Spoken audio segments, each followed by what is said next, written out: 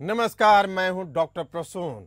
महाराष्ट्र में बीजेपी वाली महायुति गठबंधन ने दो तिहाई बहुमत का आंकड़ा पार कर लिया है।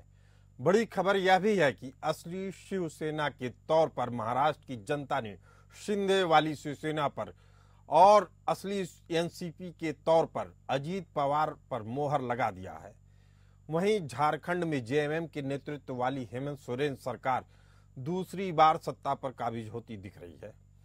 झारखंड में इंडिया गठबंधन की सरकार अपनी दूसरी पारी हेमंत सोरेन के नेतृत्व में करेगी। बात करें उपचुनाव की तो यूपी उपचुनाव की बात करें तो उसमें से नौ में से सात सीटें एनडीए गठबंधन की जोली में गई हैं, जबकि समाजवादी पार्टी के खाते में महज दो सीटें आईं। इससे समाजवादी पार्टी को दो सीटों का नुकसान होता दिखा। राजस्थान उपचुनाव की बात करें तो सात सीटों में से पाँच ने पाँच में बीजेपी ने, एक कांग्रेस ने और एक अन्य के खाते में जाती दिखी। बंगाल उपचुनाव में छह में से छह सीटें टीएमसी के खाते में गई। यानी ममता दीदी का वर्चस्व बरकरार है। पंजाब की बात करें तो चार सीट में से तीन सीट आम आदमी पार्टी को, एक कांग्रेस को मिलती दिखी। बिहार में बिहार में चार में से तीन सीटें एनडीए को, एक अन्य को मिली। वहीं इन चुनाव में महाराष्ट्र में बड़ा संदेश दिया है। महाराष्ट्र ने संदेश दिया है कि कौन असली है, कौन नकली। ये बात आंकड़ों के ज़रिए भी समझी जा सकती है।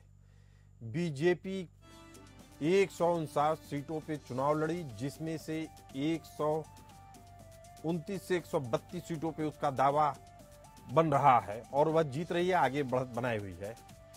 कांग्रेस की बात करें तो वह अभी मौजूदा समय में पंद्रह से बीस के उस गणित में झूल रही है, जहाँ उसकी पाँच सीटें कम या ज़्यादा हो सकती हैं, लेकिन अभी आंकड़ा मौजूदा समय में बीस से घट के पंद्रह हो गया है। शिवसेना की बात करें तो सिंधे गुट वाली शिवसेना ने बेहतरीन प्रदर्शन करते हुए पचपन से सत्तावन सीटें जीतती हुई दिख रही है। हालाँकि वह इक्यासी सीटों पर लड़ी थी। शिवसेना उद्धव की बात करें तो वह महज 20 सीटें जीत पा रही है, जबकि वह पंचानवे सीटों पर लड़ी थी। हम इसी दो शिवसेना की बात करते हैं। शिवसेना सिंधे गुट ने इक्यासी सीटों पर लड़के 55 पर विजय दर्ज की है, जबकि उद्धव ठाकरे वाली शिवसेना महज 20 सीटें ही जीत सकी, जबकि पंचानवे सीटों पर वह चुनाव लड़ रही थी।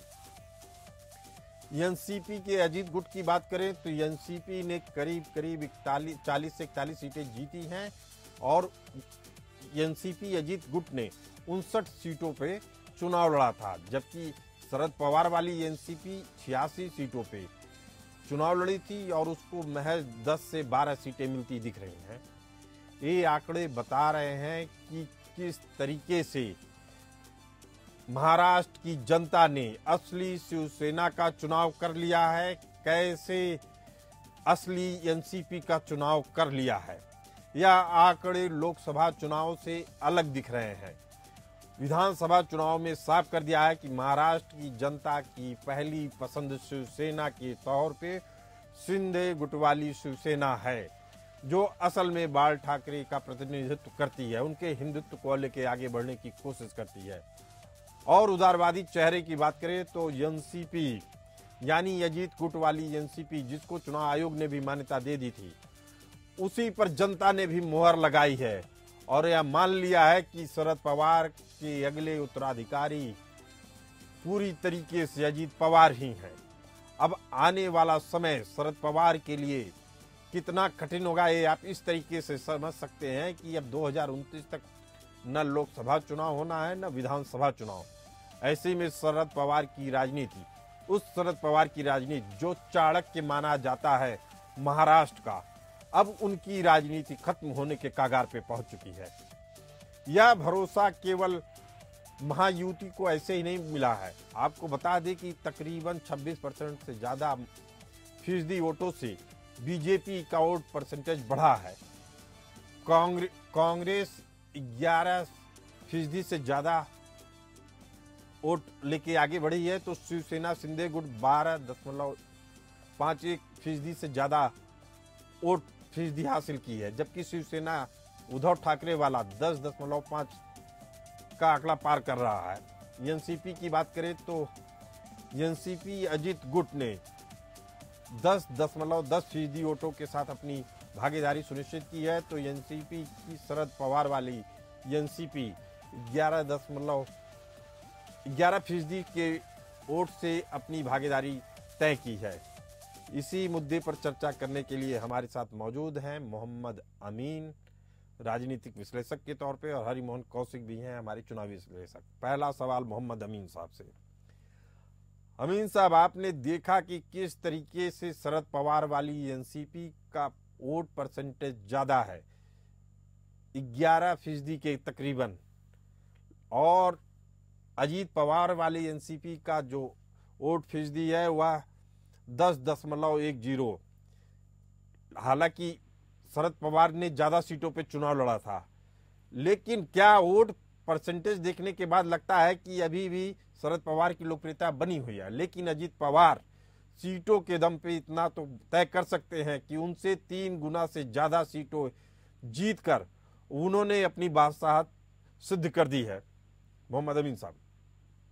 देखिए, वो पुराने छत्रप हैं और वो वहाँ के पुराने मराठा लीडर हैं। आप देखिए, अगर इतिहास में तो आज की डेट में न चौहान साहब रहे, न कोई रहा, उसमें सिर्फ़ एक यही पुराने लीडर हैं जो वहाँ पर बचे हैं।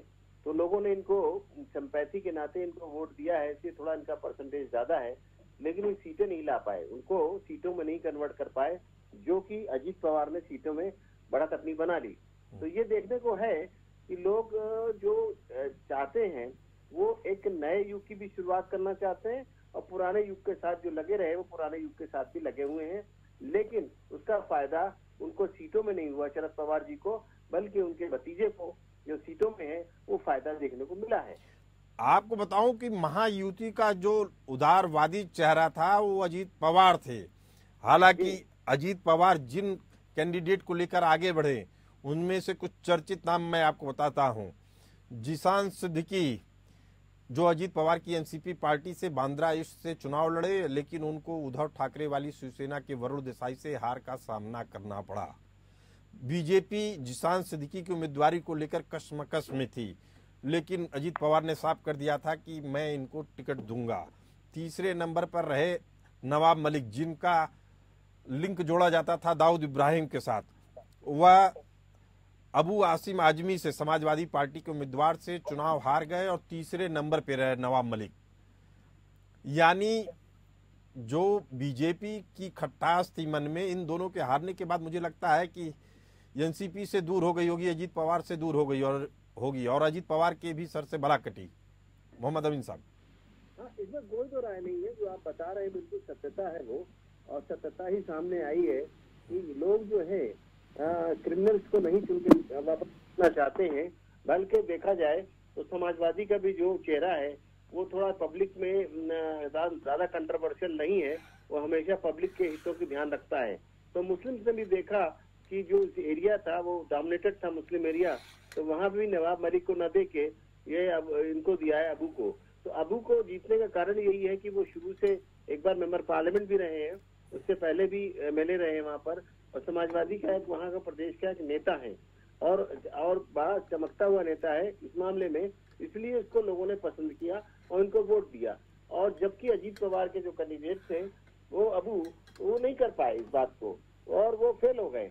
तो लोगों ने सोचा कि टेंटेड चेहरे को हम वोट देंगे? हम उसको दें जो उनके मुस्लिम्स ने भी सोचा कि हमें अच्छे चेहरे को जिता के भेजें, जिससे कि कुछ बात हो सके। वरना ये तो कंट्रोवर्शियल थे ही, अभी जेल भी चले गए थे। तो इसलिए देखा तो जाए। क्या मान लिया जाए इन चीज़ों को जैसा आप बता रहे हैं कि अब शरद पवार की राजनीति खत्म हो चुकी है अब अजीत पवार ही एनसीपी की बागडोर संभालेंगे? हाँ देखिए देखिए इलेक्शन कमीशन ने भी सुप्रीम कोर्ट ने भी अभी सुप्रीम कोर्ट में तो खैर लंबित है इलेक्शन कमीशन ने भी और विधानसभा में भी इनको रिकॉग्निशन तो मिली गई है अजीत पवार को कि ये एनसीपी के रियल हैं तो घड़ी तो उन्हीं के साथ चली गई ना। और दस के मुकाबले चालीस सीटें। मतलब चार गुने से ज़्यादा जीत रहे हैं अजीत पवार। हाँ। तो जनता ने भी मोहर लगा दी है। हाँ तो जनता ने भी मोहर लगा दी है और ये थोड़ा पॉपुलर चेहरा है और अब अब फेड फेड आउट हो रहे हैं देखा जाए तो। शरद पवार जी बहुत ओल्ड लीडर हो चुके हैं उनसे बोलचाल भी नहीं होता है उनको खुद की प्रॉब्लम है समस्याएँ हैं। लेकिन बात उद्धव ठाकरे की करे तब तो आपके सामने भी दिक्कत होगी। उद्धव हाँ। ठाकरे की राजनीति खत्म मानी जाए या अभी कुछ बाग बाकी है? नहीं अब तो वो समाप्त हो चुके हैं देखा जाए तो। क्योंकि वो स्थिति नहीं उनकी हो पाई जिस तरह उभार उनका समझा जाता था कि इतना है। क्योंकि लोग पहले भी परेशान हुआ करते थे उद्धव ठाकरे के ग्रुप से कि वो लोग कुछ अराजक तत्व थे ज़्यादातर उसमें जिसकी वजह से वो आगे नहीं आ पाए। लेकिन डॉक्टर मोहम्मद अमीन साहब जिन अराजक तत्व को कह रहे हैं कट्टर हिंदुत्व के घोड़े पे सवार होके जिसकी सवारी करती थी शिवसेना उसको तो उससे तो उतर चुके थे। ऐसी स्थिति परिस्थिति में जब उद्धव ठाकरे कट्टर हिंदुत्व को छोड़ चुके थे तो लग रहा है कि मानो सभी जितनी भी पार्टियाँ थी, कांग्रेस के वोट बैंक पे सवारी कर रही थी। हाँ इसमें कोई तो राय नहीं। देखा जाए तो वो लोग हिंदुत्व का चेहरा ओढ़े हुए थे, लेकिन ओपन हो गए। लेकिन शिंदे शिंदे गुट ने जो है, वो अपनी छाप बना के रखी। इसलिए देखिए इनकी प्रभुता बनी रही। थोड़ा सीटें अच्छी आई एनसीपी से। तो कारण यही है कि वो चीफ मिनिस्टर भी रहे सत्ता भी उनके साथ थी और उन्होंने हिंदुत्व का चेहरा दिखाया। और जिसमें जहाँ कहा गया कि बटोगे तो कटोगे और एक रहोगे तो नेक रहोगे तो सेफ़ रहोगे ये जो नारे थे इन नारों को भी बड़ा फ़र्क पड़ा है बीजेपी फ़र्क पड़ा है। हमारे साथ मौजूद हैं हरिमोहन कौशिक जी। हरिमोहन कौशिक जी आपका स्वागत है। दूसरा ये है कि उद्धव ठाकरे की राजनीति अब क्या होगी? क्या वो कांग्रेस के ही वोट बैंक पर अपनी राजनीति जारी रखेंगे? या कट्टर हिंदुत्व वाले सारे वोट बैंक शिंदे गुट के पास आ चुके हैं। सर एक्चुअली उद्धव ठाकरे जिस तरीके से यू टर्न की फॉर्म में गए हैं, वो आप बिल्कुल सही कह रहे हैं कि मुस्लिम वोट बैंक जो है, उसके कंधे पर ज़्यादा सवार हैं।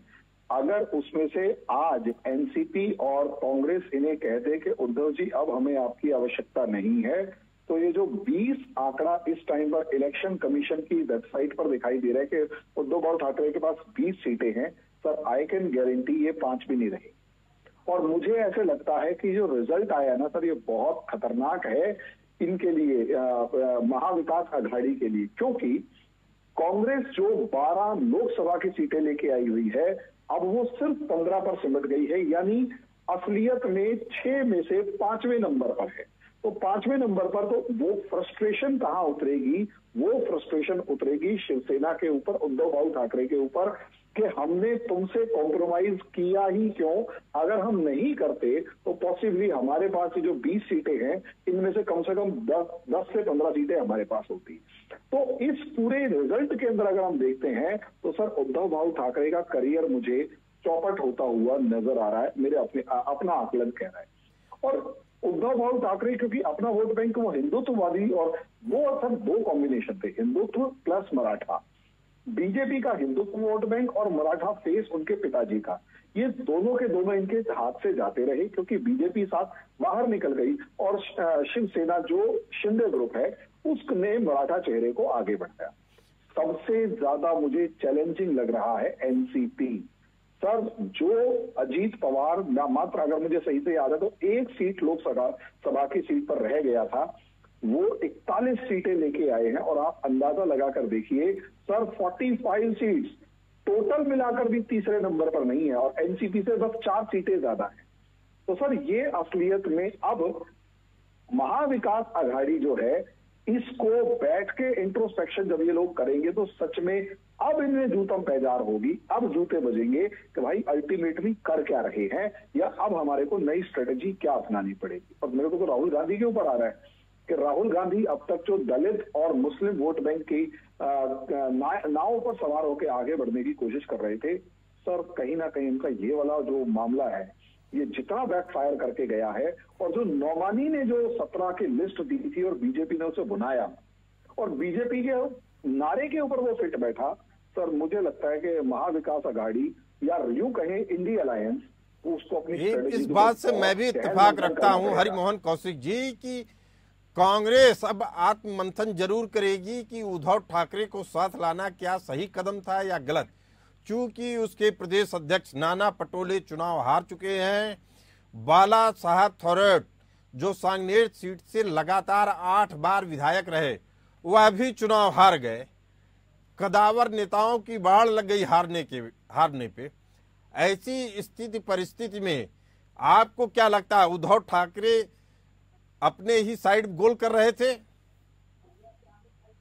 सर प्रॉब्लम इनके साथ ये है ये अपने वोट्स एक जगह से दूसरी जगह शिफ्ट नहीं कर पाए। और इसमें सबसे ज़्यादा फ़ायदा हुआ उद्धव ठाकरे को जिसने मुंबई से लेकर कोंकण बेल्ट के ऊपर फोकस किया। और वो जो मुस्लिम वोट आप उद्धव ठाकरे बोल रहे हैं सिंधे गुट को फ़ायदा हुआ आप ये कह रहे हैं।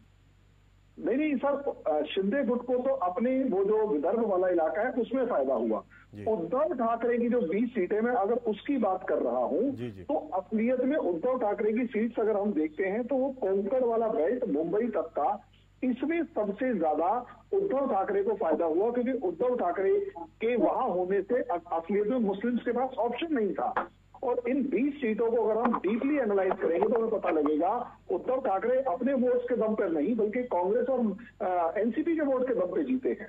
और रही बात अजीत पवार की तो सर, अजीत पवार की जो स्ट्रेटेजी थी, जिसमें वो अपने आप को कटोगे तो बटोगे से दूर खड़ा कर गए, और शरद पवार की स्ट्रेटेजी को काउंटर करने में कामयाब रहे। वरना अजीत पवार का यहाँ करियर काफ़ी दाव पे लगा हुआ था। ये काफ़ी चीज़ें इनकी स्ट्रेटेजी काम आई है, सर। जी। चलिए। लेकिन शिंदे गुट की शिवसेना को भी दो बड़े झटके लगे हैं। पहला मिलिंद देवड़ा जो आदित्य ठाकरे से चुनाव हार चुके हैं। दूसरा साइना एजेंसी जो कांग्रेस के अमीन पटेल से भी हार चुकी हैं। ऐसी स्थिति में आपको क्या लगता है कि जिस तरीके का कद था मिलिंद देवड़ा का और जिस तरीके से वह राजनीति कर रहे थे यह शिवसेना के लिए झटके की बात है? मुझसे पूछा गया जी। सर देखिए, मिलिंद देवड़ा असलियत में इनके पिताजी कांग्रेस से थे। और असलियत में अगर हम मिलिंद देवड़ा जी का वोट बैंक देखते हैं तो वो जेनुअनली एक मुस्लिम वोट बैंक था, जो कांग्रेस को मिलता था। अब प्रॉब्लम ये आई है कि असलियत में मिलिंद देवड़ा को, वो हिंदू और जिस सीट से वो लड़े हैं ऑब्वियसली बात है, वो सीट शिवसेना का गढ़ रही है किसी टाइम पर। प्रॉब्लम यहाँ पर ये है, मुस्लिम वोट बैंक जो कांग्रेस का था, वो उनके पास रहा नहीं और शिवसेना के गढ़ में, सर एक्चुअली क्या होता है, बूथ से लेकर छोटे बड़े लेवल के जितने भी नेता होते हैं, अगर उनसे डायरेक्ट बातचीत होती है तो वो कम से कम अपना पाला नहीं बदलते और वो अपने वोट डायरेक्ट अगर किसी बड़े नेता से अप्रोच बन रही है तो उसको दे देते हैं। असलियत में जो आदित्य ठाकरे है, उसके साथ यही पॉजिटिव पार्ट हुआ है कि उसका अपना जो वोट अपनी सीट पर था, वो कंसोलिडेटेड था।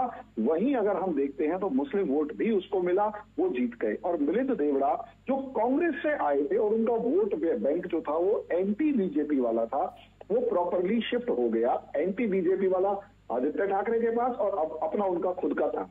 तो यहाँ, अब मुझे ऐसा लगता है कि अगर अगले बार शिवसेना को अगर उनके प्रॉपर वोट्स नहीं मिलते हैं तो उसका आउट या शिवसेना की कुछ महाविकास आघाड़ी से खटपट होती है, तब मिलिंद देवड़ा को पॉजिटिव पार्ट या पॉजिटिव रिस्पांस मिल सकता है। अभी तो सर थोड़ा सा मुश्किल लग रही है।